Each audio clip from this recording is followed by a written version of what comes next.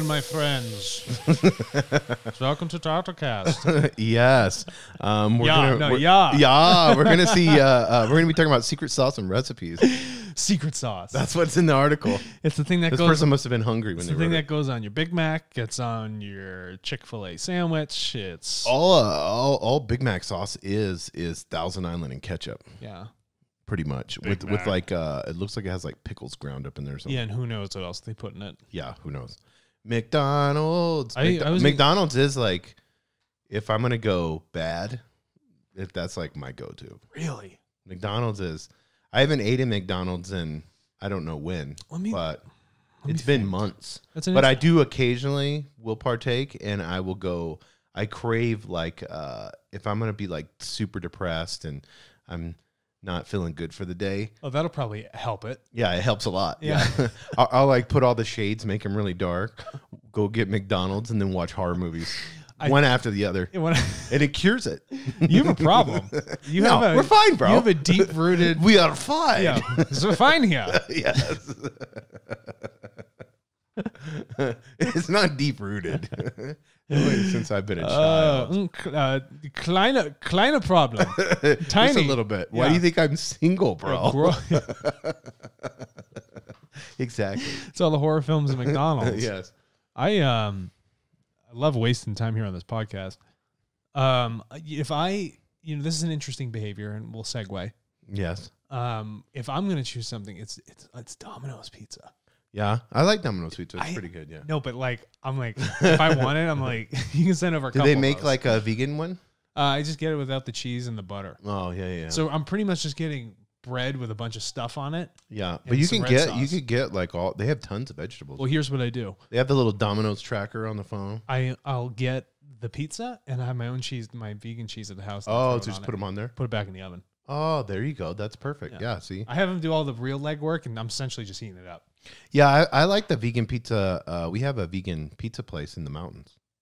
Oh, Trail Rider. Yeah, The place is unreal. yeah. So they have some pretty amazing food there. Yeah. I love it. But um, Can we talk about something? well, yeah, you're you're talking right. I'm a fat kid, bro. So so am I. when, whenever it comes to food, bro, I'm in.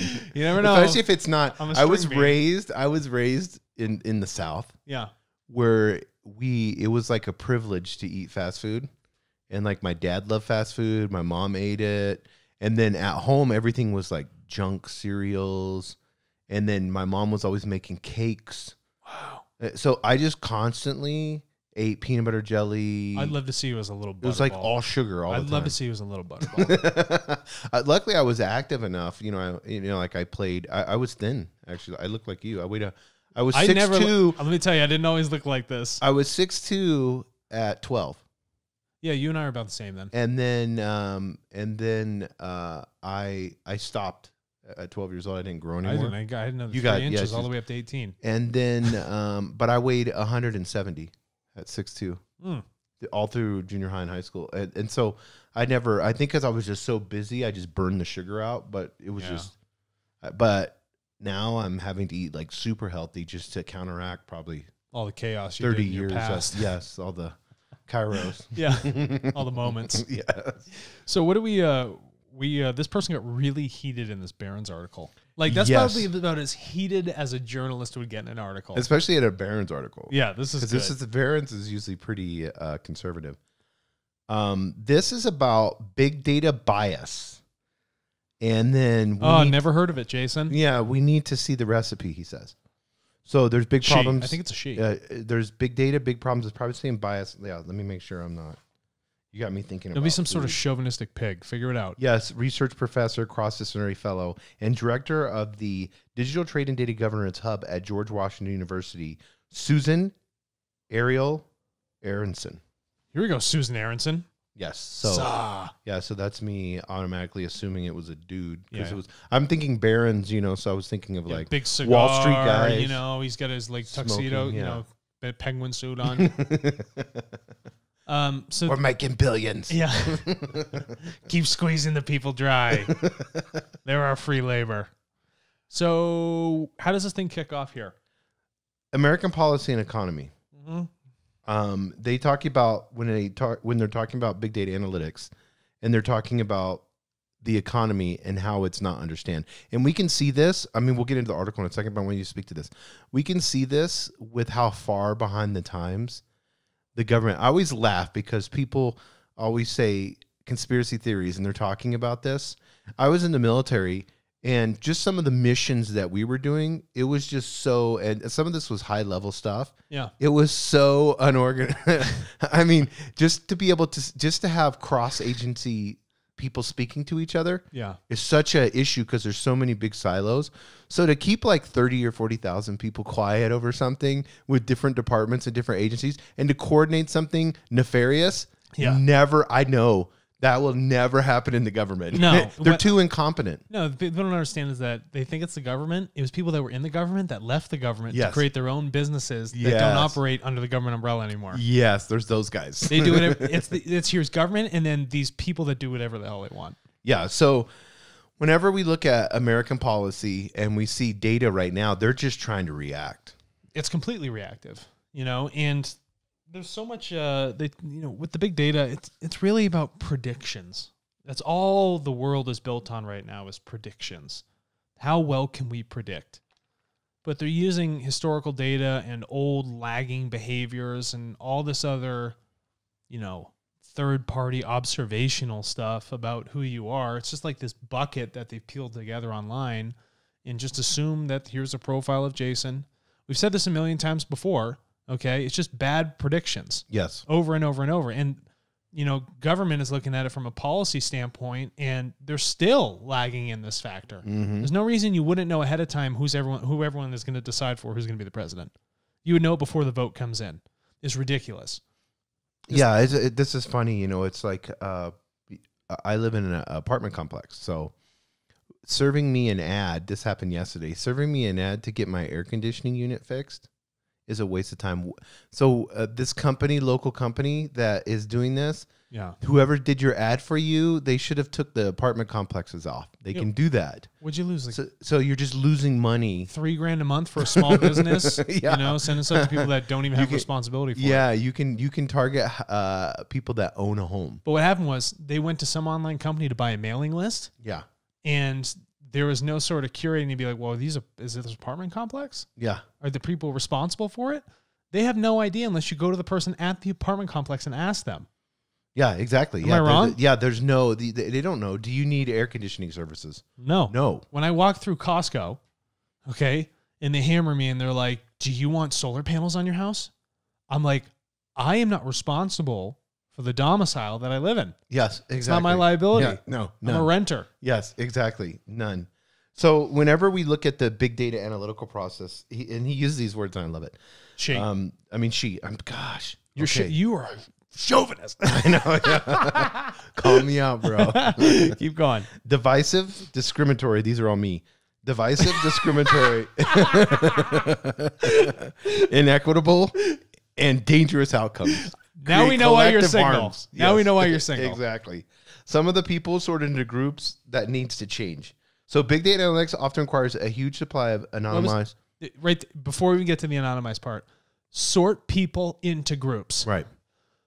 Why are you sorting me into a group why can't i tell you what group i want to go in Yes, exactly. can we think about just that I don't right like. there? I, I I automatically think of like bad things when government starts sorting you. You need to go over here. yeah you go here you go here you go here you there that's that's what it is Yes. and we're just doing the same thing with technology again don't put me in a damn group i don't belong in just because you're taking a best guess approach to saying i belong in this box Right. and you're going to funnel me this way and shovel me these ads that make no sense or beyond ads, products, services, send me to the doctor I shouldn't be going to, whatever it might be. That's not me. No. We need to invert that that what that foundational piece of big data. Big data is making the choice for people rather than people making the choice for big data. Yes, and and and like he says that needs to change. She. you, uh, she says. Strike three. okay, I'm out. this podcast. Just say the author. Everyone, I, I want to apologize. First of all, I want to apologize to Susan Ariel Aaronson. You apologized to her three times. I know. Yeah, this is horrific. This is funny. Okay, so big data analytics often requires a huge supply of anonymized personal data. The process Dude, I bet it does. you're still laughing, huh? oh man, the process? I've learned my lesson, Alex. Apparently not. No, I've done it two more times. Yeah. it's like a little kid. You know how the little kids are like, I won't do no, it no, again.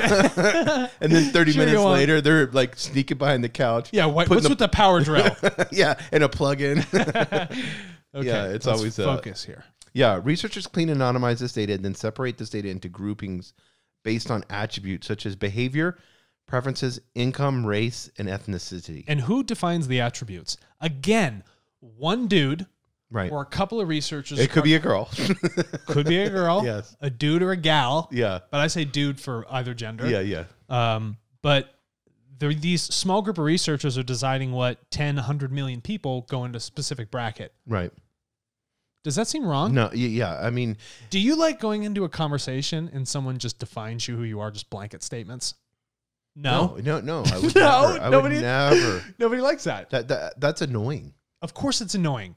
Why are we not annoyed with what's going on here? And then we just live in this this false reality constantly.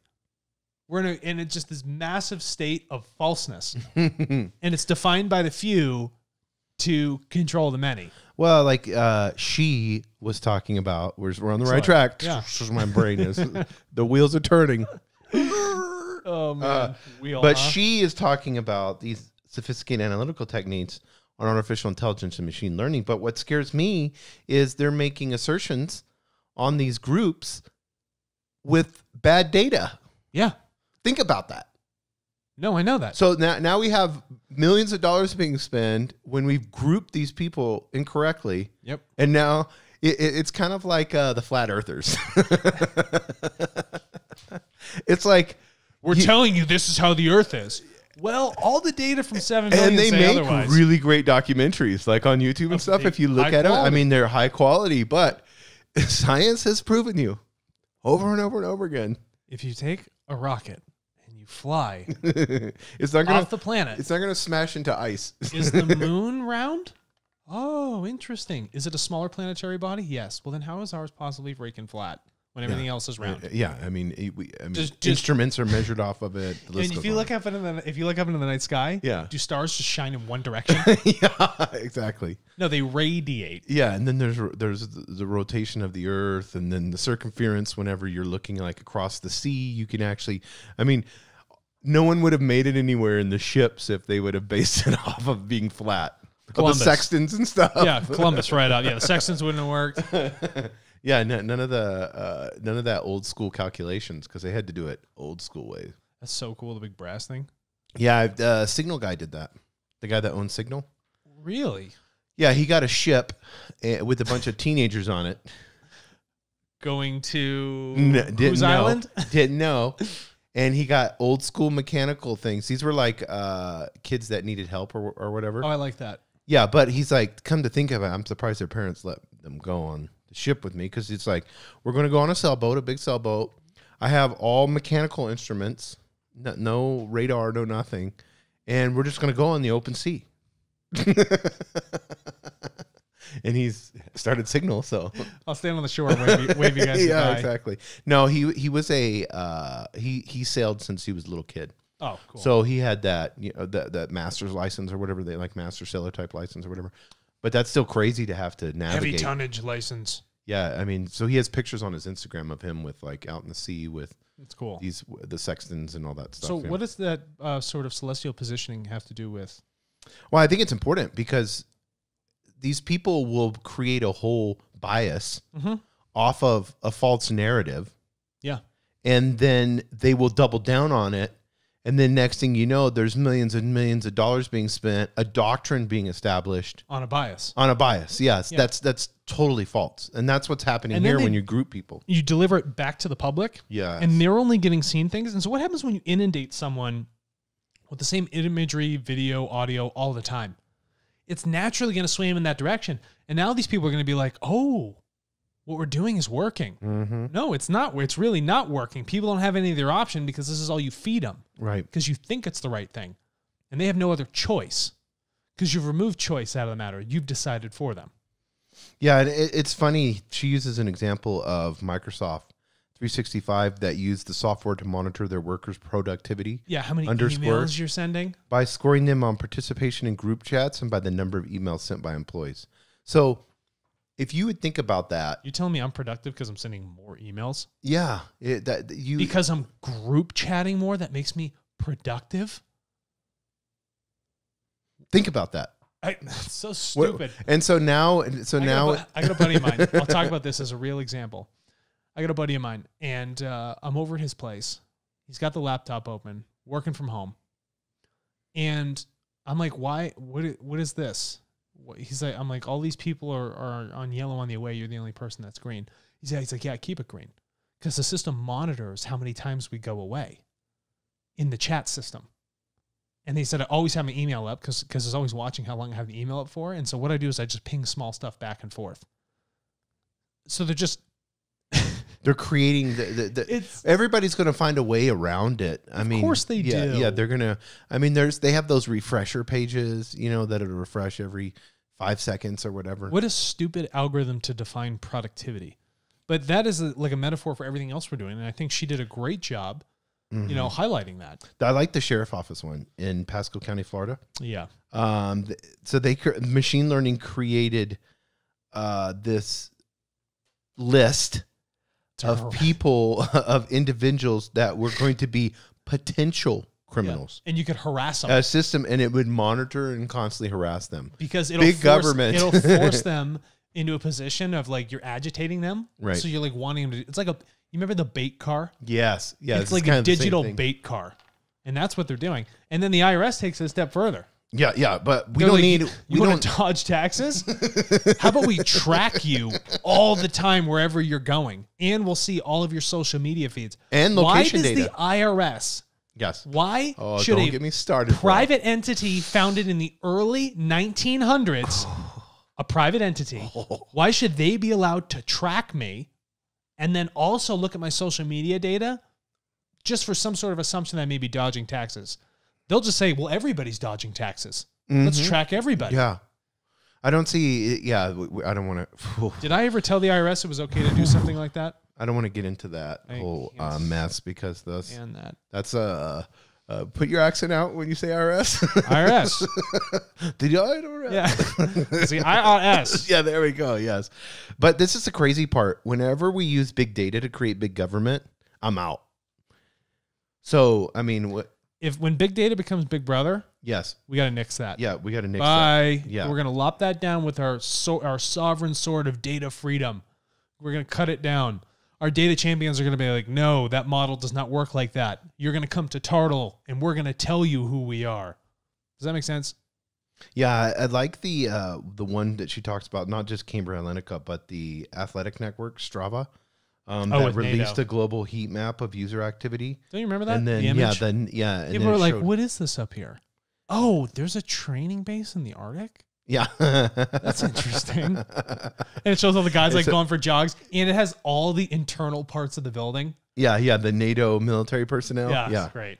Yeah, so th- these things that uh, the algorithm design made it less likely to refer black people than white people who are equally sick to programs that aim to improve care for patients with complex medical needs. Because hmm it's machine learning, so it, it's Who's the freaking racist that put that algorithm together? yeah, exactly. Um, Why can't? Why is it if you have a complex medical need? Why is the algorithm defining who gets a complex medical need first? Why can't me saying there's a complex issue going on internally within my body? I need to I need to go see a doctor. yes, Why are you telling me who and when I should go see them? This Yeah. is complex enough for me. this is the same I'm seeing right now, where TARTLE could have helped dramatically with uh, the vaccine rollout. Yeah. Um, this is a prime example of where you need to speak to the people. Yeah. um, and then if if we would have known if we would have had their data packet their health records data packet and then we would- Behaviors, and- and- jobs. and then asked them you know direct questions to qualify for them then we could have made a proper list in 24 hours. yeah of of what with every american of how or whatever country you're in Whoever wants a vaccine. yeah, uh, to get this vaccine ruled out to the right people at the right time. Because now they're like, there's this big controversy. You know, Hollywood people are getting it, and then you know, um, super healthy people are getting. I am so tired of hearing that crap. Yeah, Like I'm I'm fed up with just people pointing fingers and blaming all this stuff. We have the tool available to cut all that out. What are you going to have to talk about when you can't complain anymore?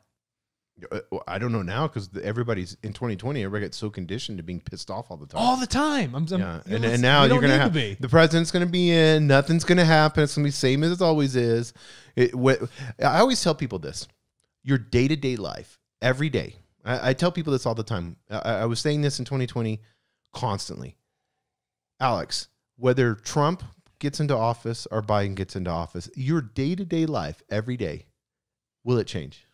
No. No.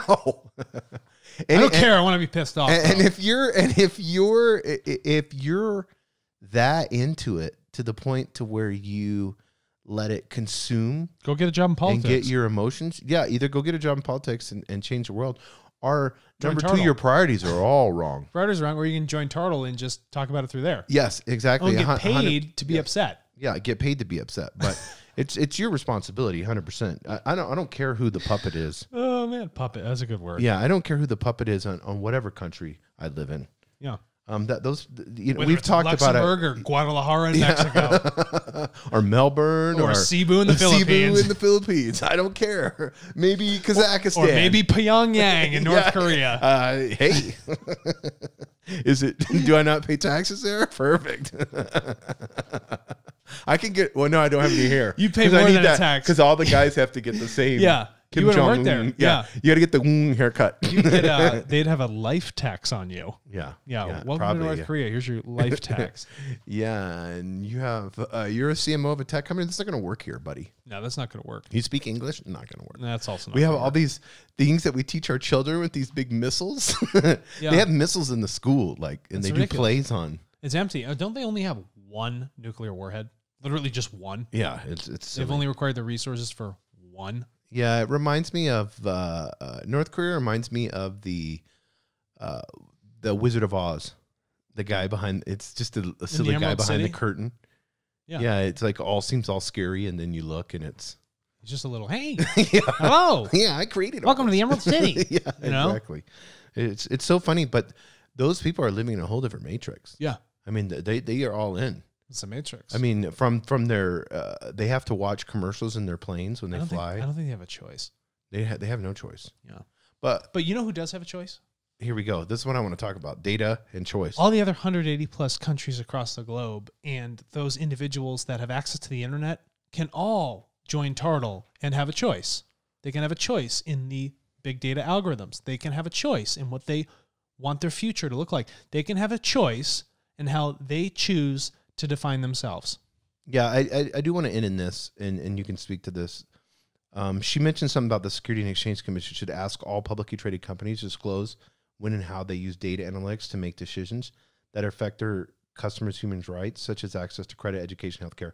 I, I so here here's maybe this is my libertarian viewpoint or whatever, but whenever I'm saying, okay, now I'm going to ask Security Exchange, why can't why can't we as consumers go to this company and demand that? And shareholders should demand that. Why does we don't need to get the government involved. the government doesn't need to involve? We need to just work with the people that we're working with. yes, Why do we need to have a third party come in and define what needs to go on? Why can't we as people do that? and don't support a company that's nefarious. This is we're just being Socratic here. Yes, Yeah. It- it's it's very very simple. Support yourself Yes. and support some global causes, the big seven. Thank you very much.